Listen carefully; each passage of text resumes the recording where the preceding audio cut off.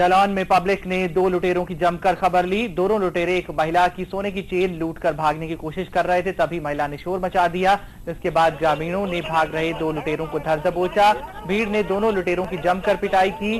घटना की जानकारी मिलते ही पुलिस मौके पर पहुँची और दोनों लुटेरों को लोगों की भीड़ से छुड़ाया। पिछले कई दिनों से ज़िले में चेन स्नैचिंग की वारदातों में काफ़ी इजाफा हुआ था, जिससे लोगों के साथ साथ पुलिस भी परेशान थी। पुलिस ने फ़िलहाल इस सिलसिले में तीन लोगों को गिरफ़्तार किया है।